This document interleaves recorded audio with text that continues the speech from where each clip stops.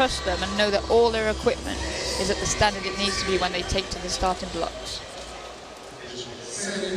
We have one S11 swimmer in this one, and that is Maxim Koval in lane number one. We'll watch out for the tapper there. All these different techniques of tappers. Have you ever done the tapping, Liz? You ever uh, ventured into to that? It's quite pressure, isn't it? I had one go at um, a short course winter national championships and I felt way more pressure than actually swimming, so uh, I won't be doing that again. Who was that for? One of your teammates? Uh, it was for Gemma Houghton at the time, oh, I think. Right, you, okay. you never want to be on the end of her breath, do you?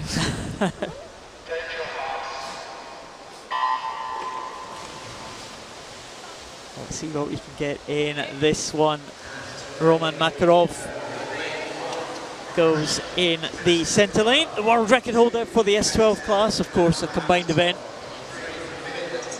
Look at that rotation in the shoulders for Makarov. That is absolutely superb. He's four-time Paralympic champion in 100 fly, Makarov. Absolutely dominant in this event until the event, of course, not going to be an event in Rio. It's combined with the S13s. He was beaten by uh, Ihar Boki, who swims in the S13 class last year. But Makarov has dominated this event for 15, 16 years now, and you can see why. Superb butterfly stroke. He's got a great technique, and often these visually impaired athletes really struggle with. So to have such a pretty butterfly and functional butterfly really is an impressive achievement. Great finish as well from Makarov, 59.79. So it's a few seconds outside his best. 56 was his best yet.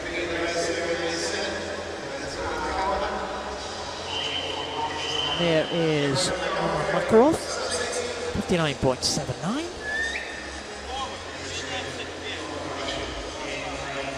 Well, just checking through the results here.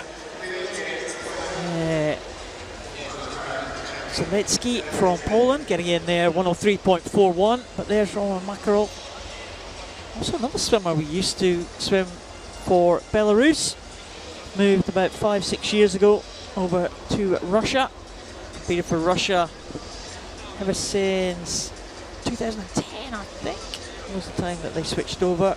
Makarov and Sergei Punko. They've been stalwarts of the Russian team ever since.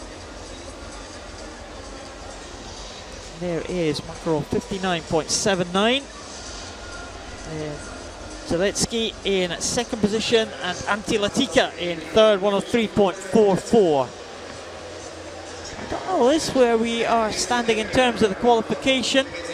We have had, well, three, four, four swimmers under the 103. We've got another three swimmers on the 103 mark. So anything under 103 in this final heat may well progress to the final. And we should get a couple at least for that. So these